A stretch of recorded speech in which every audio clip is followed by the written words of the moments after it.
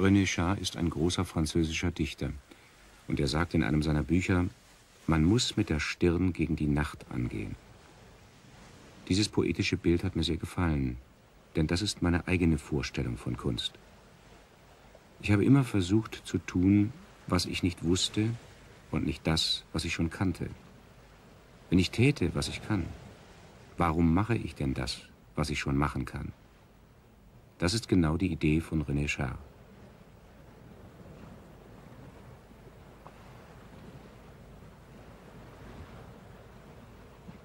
Das Unbekannte ist mein Lehrmeister gewesen. Ich stehe vor seiner unermesslichen Größe. Ich habe versucht hinzublicken. Ich weiß nicht, ob ich gesehen habe.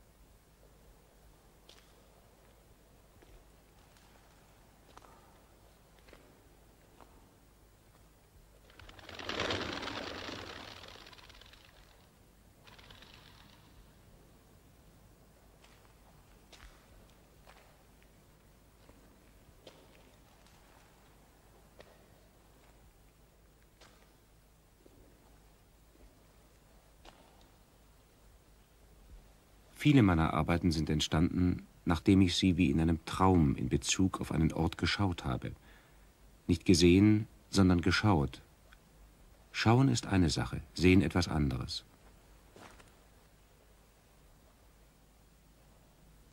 Hinsehen ist der Versuch zu schauen. Schauen ist im Allgemeinen sehr schwer.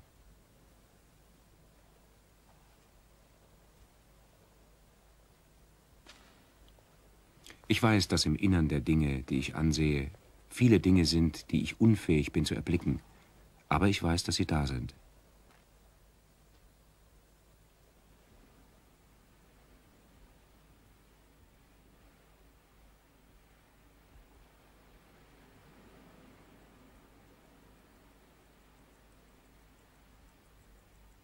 In den Büchern über meine Arbeit stellt man mich als abstrakten Bildhauer dar. Doch ich bin kein abstrakter Bildhauer. Ich bin ein realistischer Bildhauer.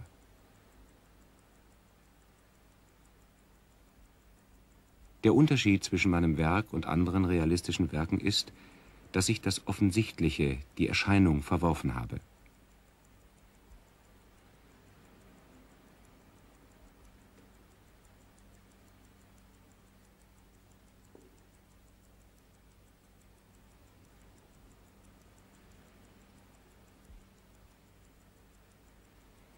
Meine Arbeit ist immer ein Problem. Es ist eine Frage. Häufig lautet die Frage, warum Skulptur möglich ist. Warum ich das, was ich tue, tue oder versuche es zu tun. Es ist ein Problem der Kenntnis, des Kennenlernens. Wenn ich etwas kenne, habe ich kein Interesse mehr daran. Ein Ding kennenzulernen ist interessant, wenn man es nicht kennt. Aber wenn man es kennt, ist es so, als hätte man es schon getan. Und ich mag schon getane Dinge nicht. Ich ziehe es vor, ein Ding zum ersten Mal entdecken zu können. Darin liegt der Ursprung meiner Arbeit.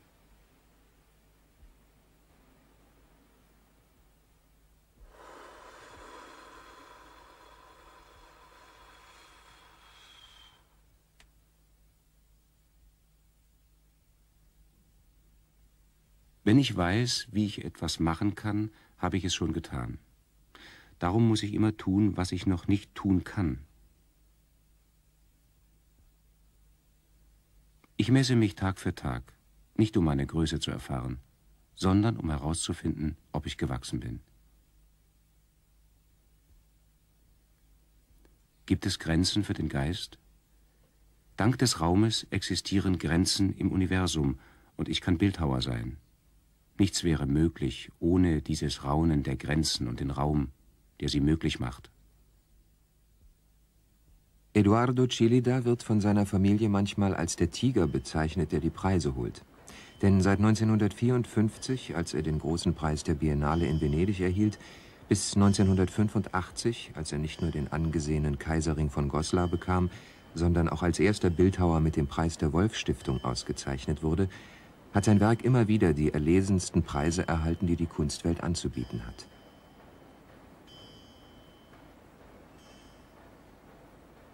Chilida wurde am 10. Januar 1924 geboren. Er entstammt einer baskischen Familie. Seine Mutter kam aus San Sebastian und sein Vater aus Vitoria, einer alten Handelsstadt, die heute Hauptstadt des Baskenlandes ist. Er war der älteste von drei Brüdern. Der zwei Jahre jüngere Gonzalo wurde Maler und Ignacio, der jüngste, starb 26-jährig bei einem Unfall. Sein Tod erschütterte Eduardo tief.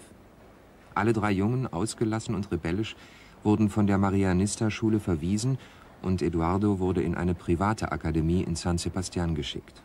Obgleich in der Familie eine starke militärische Tradition herrschte, verstand und ermutigte der Vater das Interesse seines Sohnes an der Kunst und er unterstützte so Eduardos Entscheidung, Architekt zu werden. Eduardo war auch ein ausgezeichneter Sportler und war schon als 17-Jähriger eine lokale Größe als Torwart der Fußballmannschaft von San Sebastian. Pili Belsunce, Tochter aus einer berühmten französisch-baskischen Familie, begegnete Eduardo zum ersten Mal, als beide 16 waren. In den vielen Jahren, die sie zusammen gelebt haben, war sie nicht nur eine hingebungsvolle Gefährtin, sie hatte auch einen starken ordnenden Einfluss auf Eduardos Leben. 1950, zehn Jahre nach ihrer ersten Begegnung, heirateten sie in San Sebastian. Doch am Anfang waren die Dinge nicht so einfach. Eduardo hatte beschlossen, die Architektur aufzugeben und das unsichere Leben eines Künstlers zu führen. Sie zogen nach Paris, wo Eduardo Zeiten des Zweifels und der Depression durchlebte. Immer in der Angst, nichts Originelles zu bieten zu haben. Der Wendepunkt war die Triennale von Mailand 1954, wo er zehn Skulpturen ausstellen konnte. Aimé Mack, der Kunsthändler, begann sich lebhaft für seine Arbeit zu interessieren und Chilida wurde durch seine Galerie bis zu Macks Tod im Jahre 1981 vertreten. Durch ihn traf er einige der bedeutenden Künstler seiner Zeit und befreundete sich mit ihnen. Besonders mit Marc Chagall, der seine erste abstrakte Skulptur aus Eisen betitelt Ilaric kaufte, und Georges Braque, mit dem er Arbeiten austauschte, ganz besonders wohl mit dem Bildhauer Alexander Calder, dem Chilida eine bedeutende Arbeit aus Stahl widmete. Obgleich er viel gereist ist, bleiben seine baskische Herkunft und seine Familie Schwerpunkte seines Lebens. Noch heute lebt er mit Pili in der Stadt seiner Jugend, San Sebastian, wo er, umgeben von seinen acht Kindern und unzähligen Enkeln, arbeitet.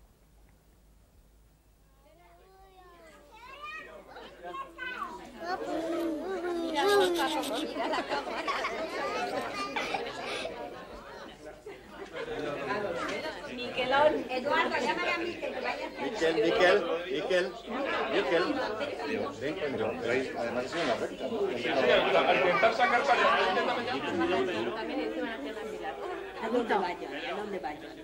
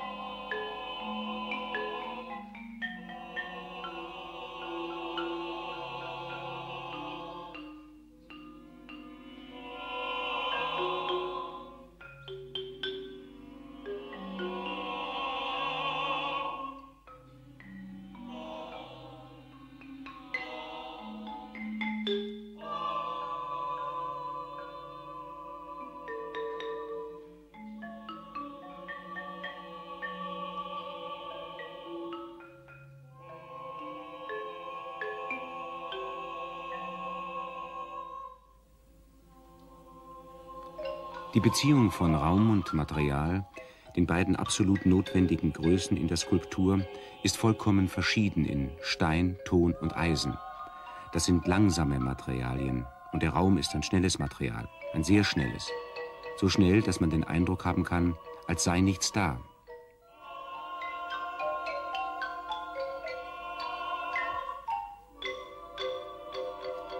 Mit einem neuen Material muss ich ein neues Resultat hervorbringen, das seinen inneren Gesetzen entspricht.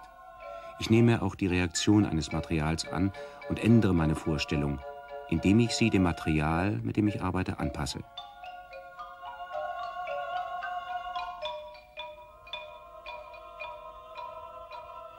Wenn ich mit Eisen arbeite, gibt es immer einen Kampf zwischen dem Eisen und dem Raum, den ich einzufangen suche. Doch das Eisen ist immer offen in Bezug auf den Raum. Der Raum, um den es hier geht, ist der Raum, der das Werk umgibt.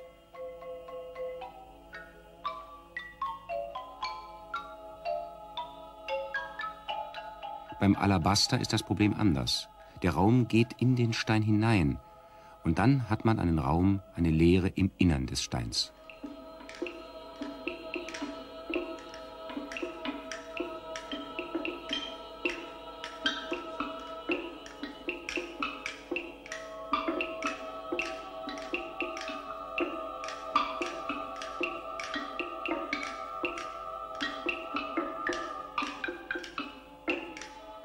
Beim Ton ist es wieder anders. Der Ton selbst, der Tonklumpen, ist ein Universum. Der umgebende Raum ist ein anderes Problem. Doch innen drin geschieht etwas in der Mitte dieses Universums, das von der Form des Tons umgeben ist.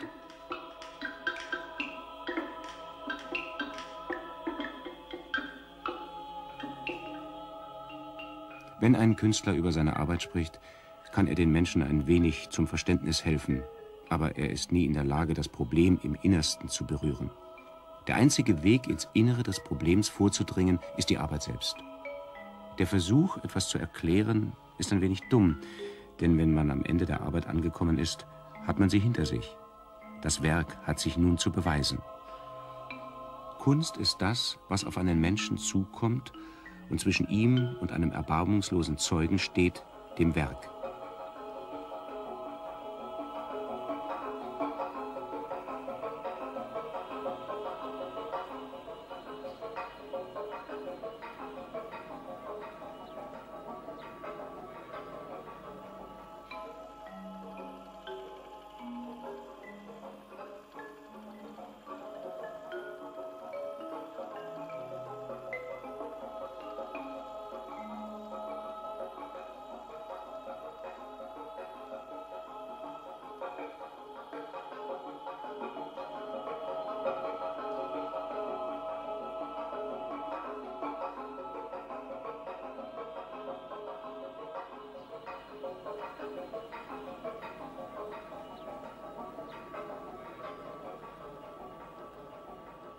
Mich gebeten, in Vitoria etwas zu Ehren der Gesetze des Baskenlandes zu machen. Zu Ehren der Fueros, der sehr alten Gesetze. Die Leute dachten, ich sollte etwas auf dem Platz machen, eine Skulptur auf dem Platz. Doch ich schlug vor, den ganzen Platz zu gestalten. Sie waren ein wenig erstaunt, doch sie akzeptierten meine Idee. Zuerst wollte ich eine Festung zur Verteidigung der baskischen Gesetze bauen. Eine Festung, fünf Meter hoch, in sehr starkem Stein, sollte sie einen leeren Raum umfassen. Und als schon fast alles vorbereitet war, änderte ich den Plan vollkommen ab und hielt es für besser, auf den Grund zu gehen und in den Grund hinein einen Raum zu versenken.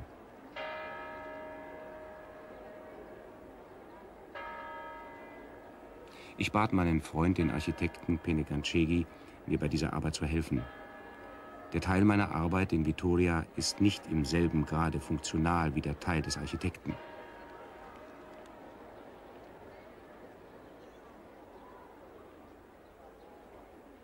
Auf diesem Platz gibt es viele Abweichungen vom rechten Winkel.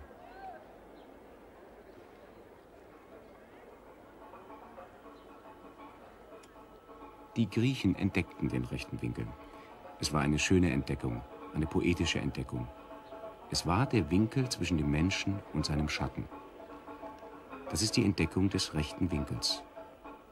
Meine Intuition hatte mir schon früher gezeigt, dass die Idee des rechten Winkels sehr schön ist, Aber sie ist zugleich gefährlich, denn es ist eine Begrenzung.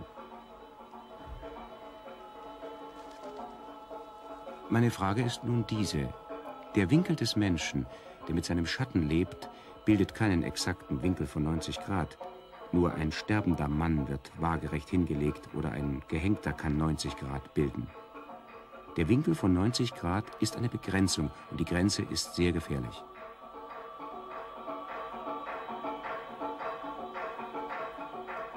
Die Begrenzung ist die eigentliche Hauptsache im Raum, genau wie die Gegenwart eine andere Begrenzung, die eigentliche Hauptsache in der Zeit ist.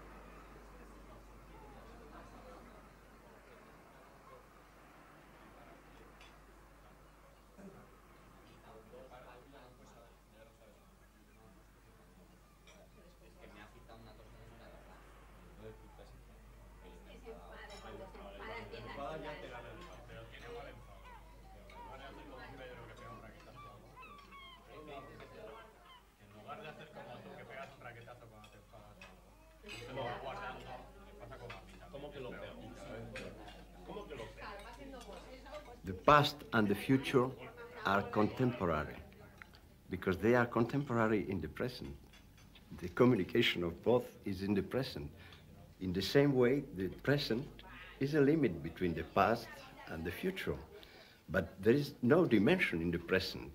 And uh, nevertheless, everything happens in the present. Is a limit, like in space, the limit between a form and uh, the space around. And everything in space happens in this limit, and there is no dimension either in the limit in, in space.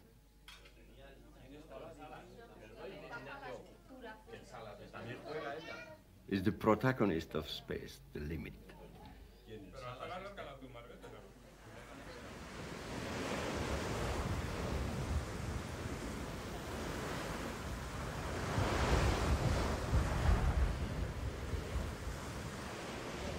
I have a very particular connection with the sea. She knows everything. And because I love to walk near the sea, like uh, children like to walk with his father, I have the feeling that I am connected with the sea like a master. The sea is very important because the sea is coming. It's coming with a very strong insistence and fighting against the same thing always the same and always different. Why? Why the sea is always coming?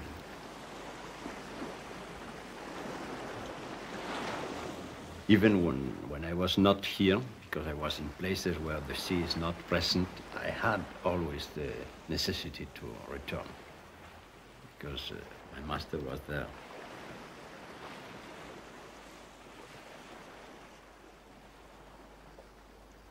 I have always been connected with this place. It's a very, very uh, special place for me. This happened to me frequently for places, relation of the work with the place. I have never chosen this place. The place chose me. Die Geschichte dieser Windkämme ist etwas ganz Besonderes in meinem Leben. Denn es ist eine Arbeit, die ich in meiner Stadt San Sebastian ausgeführt habe. Ich bin Baske und ich liebe mein Land. Ich bin sehr glücklich, dass meine Landsleute das Werk, das ich ihnen schenken wollte, angenommen haben. Ich kannte diese Ecke von San Sebastian seit meinem zweiten Lebensjahr. Natürlich kannte ich nicht die Bedeutung, die sie für mich in Zukunft haben würde, doch fühlte ich mich dem Ort immer verbunden. Meine eigentliche Tat bestand darin, viele Dinge zu verbinden, die schon hier waren, bevor ich kam. Als wir diese Plattform herstellten, hatte ich eine Vorstellung von ihrer Funktion. Das ist sehr seltsam. Ich hatte eine funktionelle Vorstellung. Ich wollte mehrere Löcher machen, um den leeren Raum unter der Plattform mit der Außenwelt zu verbinden. Und dann entschied ich, dass es sieben sein sollten, ohne eine politische Idee zu meinen. Ich mag die Zahl sieben. Dann aber, als wir die Löcher gemacht hatten und ich das Geräusch des Meeres durch diese Verbindung wahrnahm, begann sich alles in meinem Kopf zu drehen. Und dann verstand ich sehr schnell, dass die Sieben eine gute Wahl gewesen war, wegen der sieben baskischen Provinzen. Und ich kam darauf, Orgelventile in die sieben Löcher zu platzieren, so dass der Klang, den sie hervorbringen, das baskische Wort Askatasuna wiedergibt. Das Wort bedeutet Freiheit.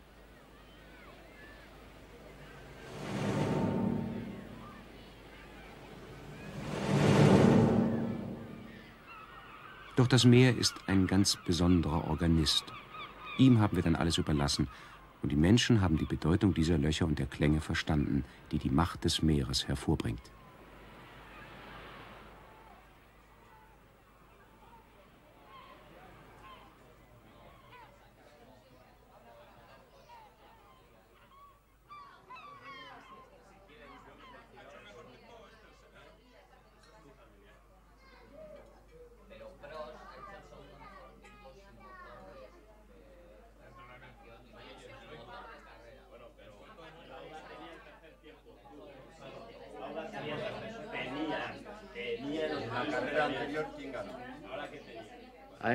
The feeling that so many people speaking about liberty in the world today and justice and many things. But liberty particularly is always in the air, this word. is a beautiful word in any language.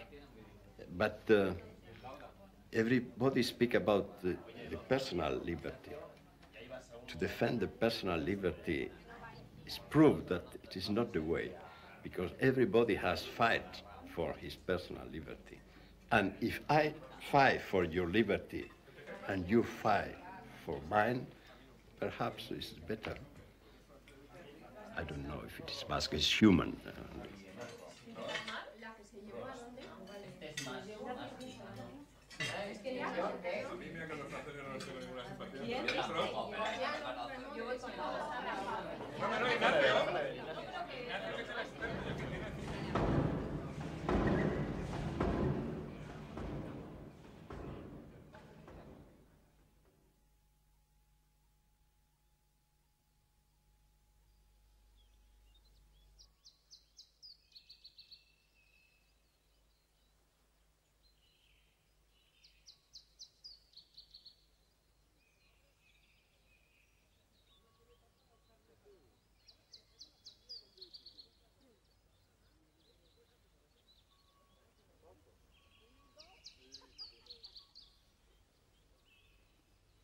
Wir haben im letzten Jahr dieses Haus entdeckt, ganz durch Zufall. Und Pili meinte, dass es ein fantastischer Ort für die Ausführung einer Idee ist, die ich seit langem hatte.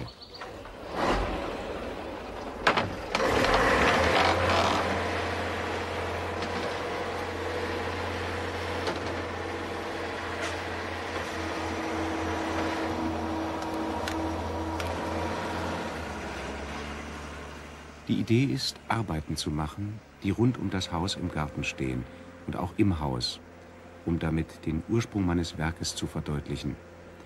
Denn ich glaube, dass meine Arbeit sehr eng mit meinem Land verbunden ist. Als ich dieses Haus sah, hatte ich eine sehr klare Vorstellung davon, dass dieses Haus ganz bestimmt dafür geschaffen ist, diese Verbindung zu verdeutlichen.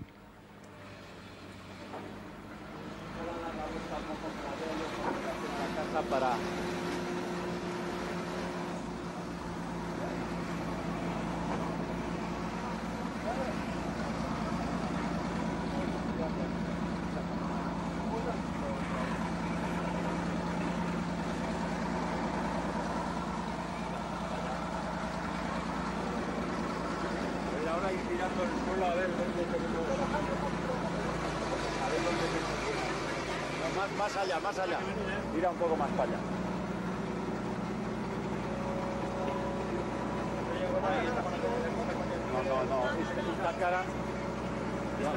Tira, tira más ahí, ¿sí? En esta postura, ¿no? Ahí. A ver, tira para abajo ya. A ver, Baja, vete arriba, bajando. arriba, abajo.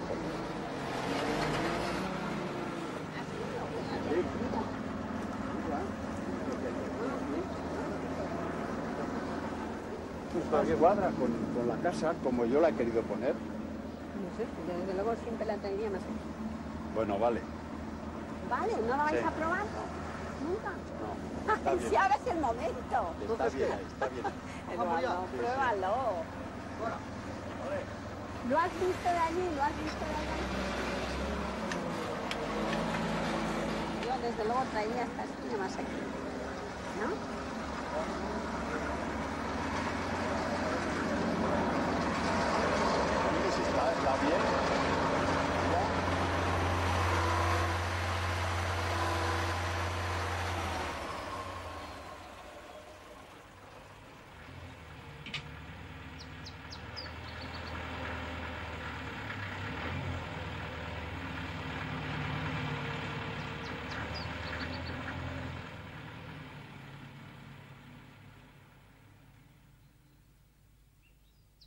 Ich bin sicher, dass, wenn wir das Haus in Ordnung gebracht haben, mein Werk darin leben kann, wie ein Mensch im Haus seines Vaters lebt. Das ist mein Traum.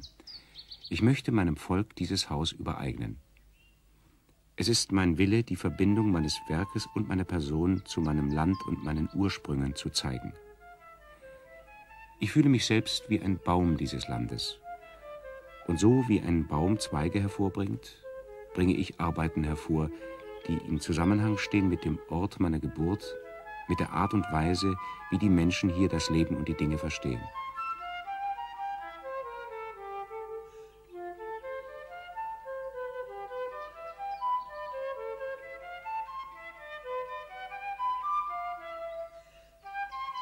Ich glaube, dass der Sinn des Lebens eines Künstlers nicht allein einen Bezug zu seinem Heimatland haben darf, sondern nach überall hin ausgeweitet werden muss.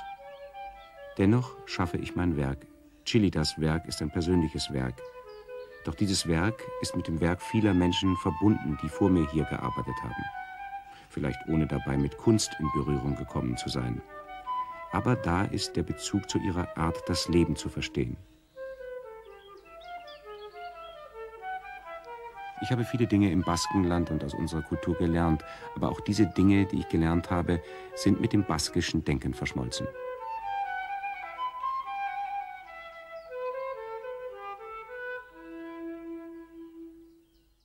No te tumbes tanto en la cuerda.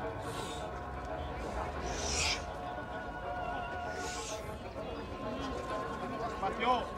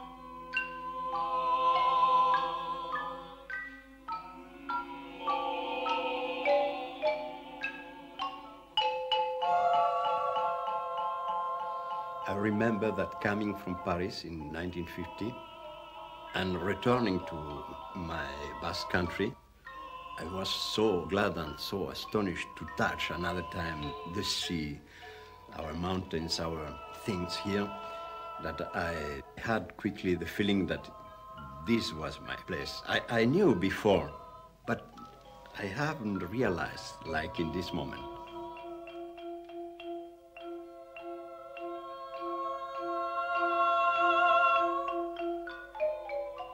We have, uh, Basque people, a particular um, approach to life and very direct, very hard too, in a certain way. The force or strength is very important for Basque people, as you know by sport, popular Basque sport.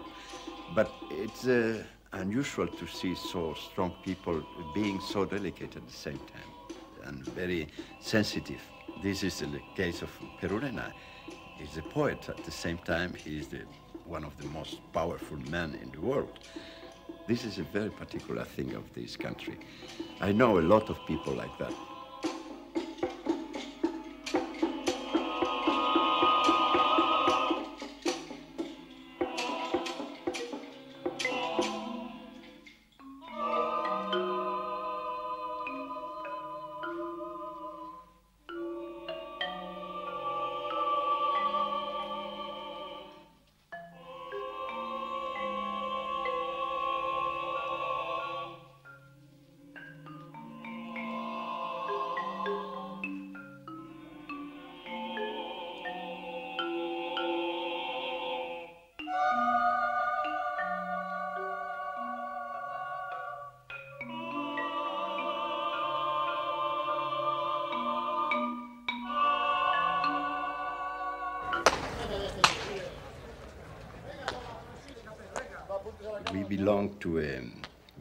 Culture who has had many difficulties to, to grow up.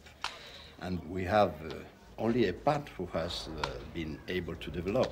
We are going to grow up a lot in the future. But for the moment, we are where we are. We must know these uh, limits we have. But uh, in my case, I am very much concerned with all our problems. When I have exhibit in America, when I had the, the Prize in, in Pittsburgh, I saw that everything was in English in the book uh, they dedicate to me. And I wanted to dedicate something to my country. And the meaning of this uh, in Basque is Nere erri saharari, nere aberri gazteari, nere lan osoa bihotz bihotzez opa diot. To my old country, to my young homeland, I offer with all my heart my entire work. This is the separation between the old country and the young uh, homeland. This is the idea we have, I think, the Basque people today.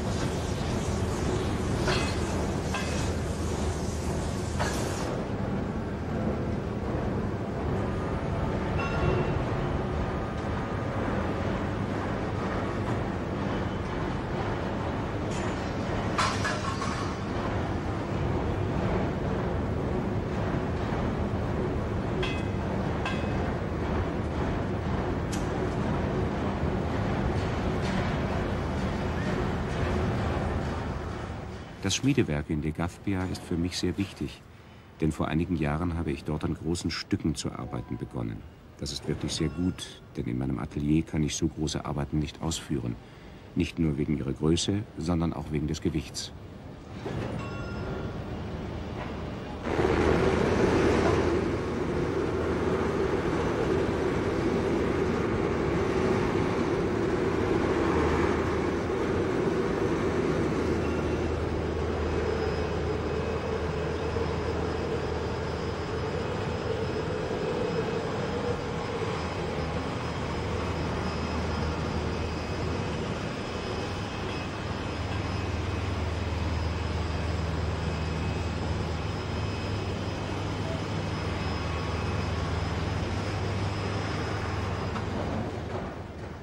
Ich kannte die Echevarria-Gießerei seit vielen Jahren.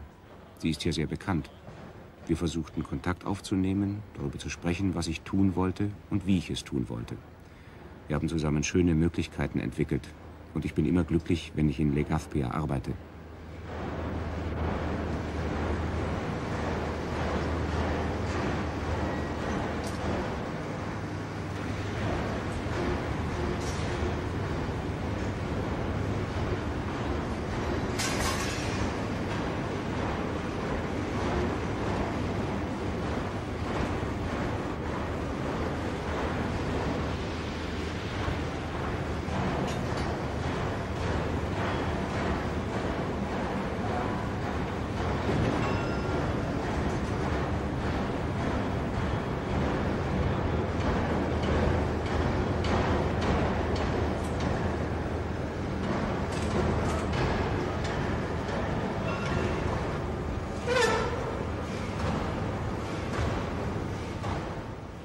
Feuer ist sehr wichtig, denn es hilft, die Geschwindigkeit eines Materials zu verändern. Wenn Eisen kalt ist, kann man es unmöglich verarbeiten, etwa verdrehen. Doch im Feuer akzeptiert das Eisen die Möglichkeit einer Bewegung. Ich habe ein ganz intuitives Verständnis im Umgang mit dem Material.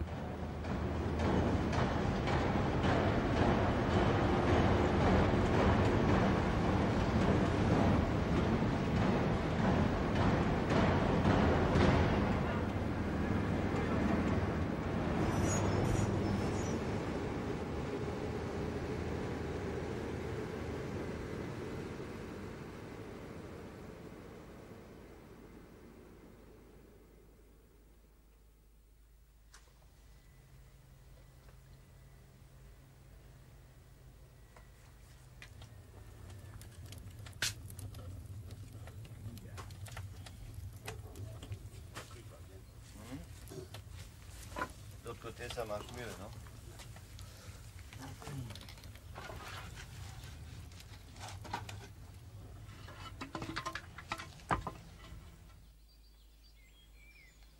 Ton ist das erste Material für einen Bildhauer. Ich begann, wie jeder andere auch, mit Ton.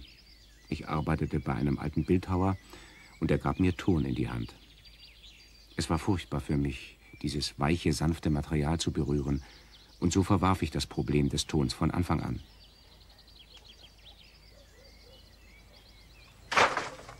Doch eines Tages, als ich aus dem Fenster guckte, sah ich Hans, wie er ganze Blöcke aus Ton bereitete. Das war nicht derselbe Ton, den ich in Madrid viele Jahre zuvor in der Hand gehabt hatte. Dieser war anders. Er war härter, und so ging ich zu Hans hin und sagte, ich möchte diesen Ton anfassen. Ich habe die Tonblöcke berührt und hatte plötzlich das Gefühl, dass ich aus diesem Ton etwas machen könnte. Ich wollte diesen Block befragen, und so begann meine Arbeit mit Ton.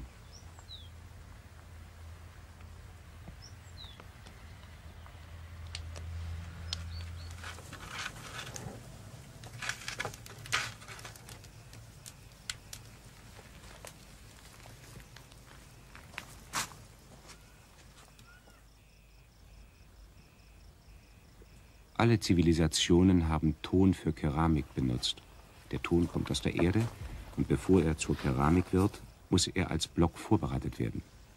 Ein Großteil meiner Arbeit ist gerade dieses Interesse an dem Leben, an dem Universum, das dieser Block darstellt. Ein mehr oder weniger verformter Block.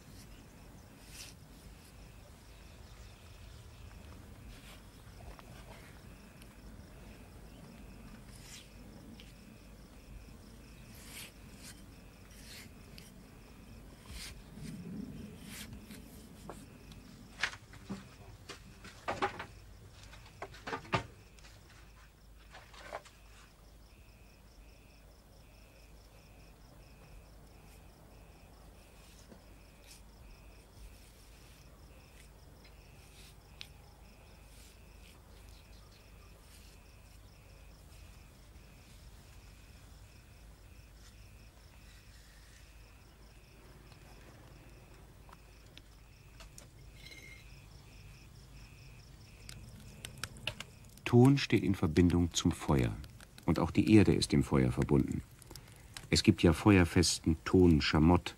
Der Widerstand des Tons ist da viel größer als der der Bronze oder des Eisens. Wahrscheinlich ist der Ton da an seinem Platz.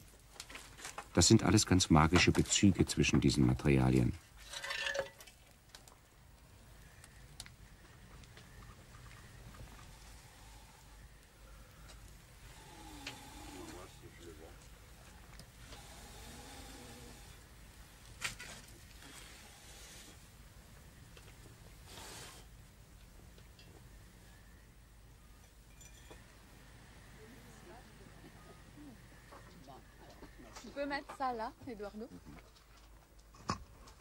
Ich begegnete Hans 1976, glaube ich. Er ist ein sehr netter Mann. Jetzt ist er mein guter Freund. Ich schätze es sehr, in Grass mit Hans zusammenzuarbeiten, denn wir treffen uns in der Lösung wirklicher Probleme, die das Feuer und der Ton uns stellt. Er hat mir sehr geholfen, all diese Probleme zu verstehen und die technischen Lösungen zu finden.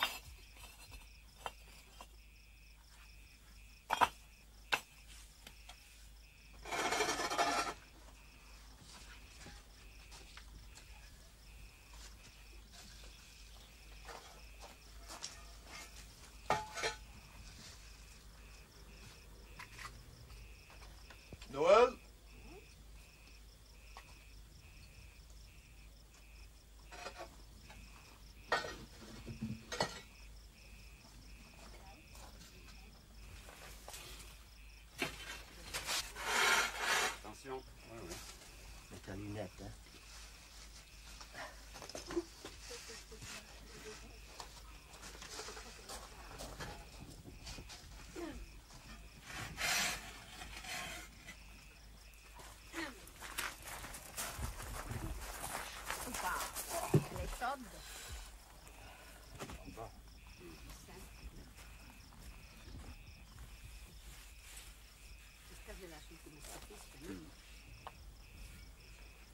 Hein. Ça, ça, ça va être.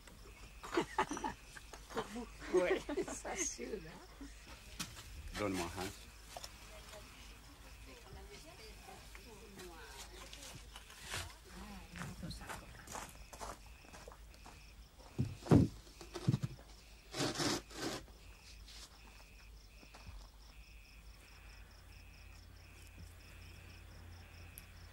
Cette chose un peu claire là, par exemple, là, dans le. là. Ça, ça c'est quoi exactement? C'est c'est le feu. C'est le feu là, les flammes, non? C'est la flamme. Non, non, non, non. Mais des fois la flamme fait euh, le coin beaucoup plus foncé. Des fois ça fait plus Ça, clair. dé- ça dépend dans quel endroit elle est dans le four. Là aussi c'est plus clair, mais là c'est avec les cendres, alors ça devient une autre, une autre couleur. Ça c'est différent, mais c'est très bien aussi. J'aime beaucoup les, les clairs, hein, ça se voit très bien la forme. hein. Pour ce type de choses, congratulations.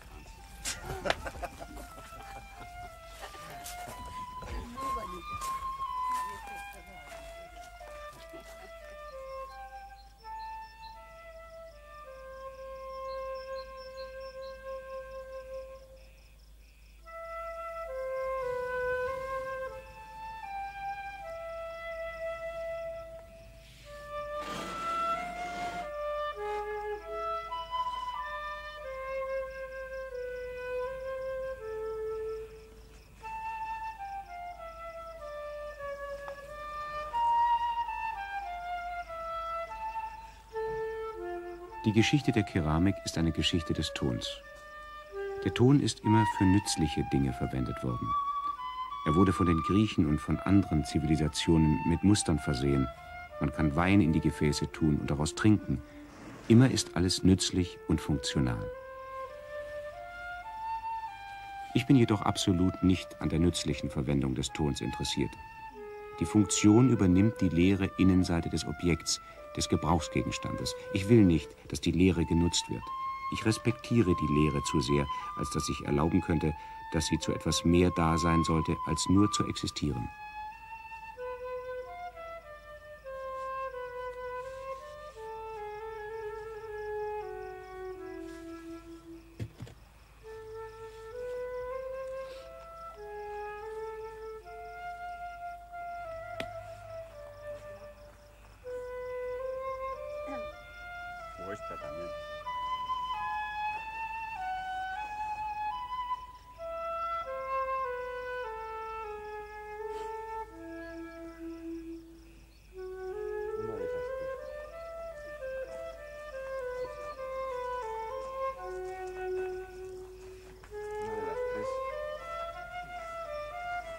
Esa pequeña también, la que está al lado. Sí, la segunda. También está bien.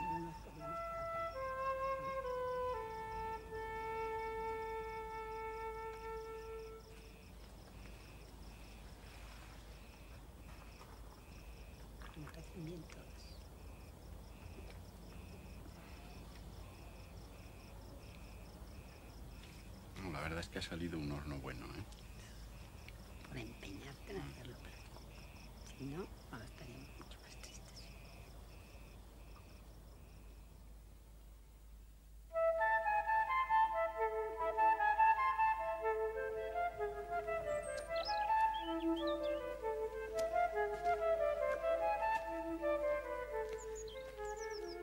Ich möchte in meiner Arbeit frei sein, absolut frei. Und die einzige Weise, wirklich frei zu sein, ist, die Arbeit von allem Anfang an, vom ersten Hauch an, mit etwas zu verbinden, das nicht formal ist. Denn wenn man eine formale Verbindung herstellt, wenn man das Werk vor seinem inneren Auge sehen kann, ist man schon von allem Anfang an um Form bemüht. Und die kann man nicht mehr ändern. Und so lebt man wie ein toter Mann bis zum Ende der Arbeit. Ich kenne mein Werk, bevor ich es ausführe, aber ich kenne dieses Werk nicht in seiner Form und will es auch gar nicht kennen. Es ist sehr schwer, all dieses auszudrücken. Es ist wie ein Aroma, etwas, das man riecht und das man wiedererkennt und von dem man weiß, dass es von einer Ebene kommt, die größer ist als Formen oder Konturen. Und wenn man das spürt, dann kann man frei an die Arbeit gehen.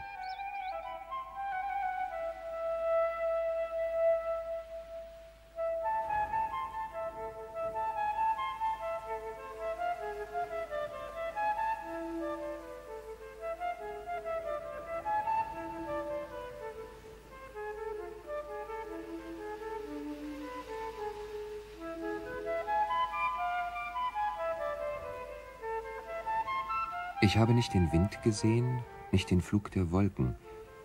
Ich habe nicht die Zeit gesehen. Ich sah die Blätter fallen.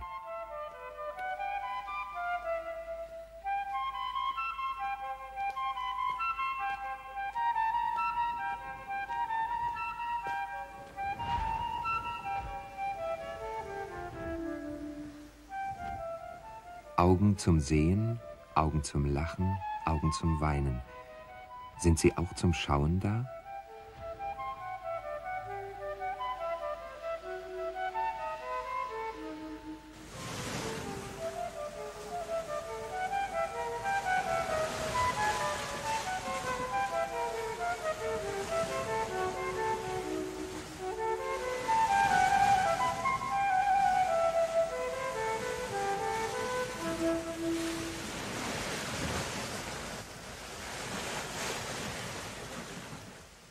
René Char ist ein großer französischer Dichter. Und er sagt in einem seiner Bücher, man muss mit der Stirn gegen die Nacht angehen. Dieses poetische Bild hat mir sehr gefallen, denn das ist meine eigene Vorstellung von Kunst. Ich habe immer versucht zu tun, was ich nicht wusste und nicht das, was ich schon kannte. Wenn ich täte, was ich kann, warum mache ich denn das, was ich schon machen kann? Das ist genau die Idee von René Char.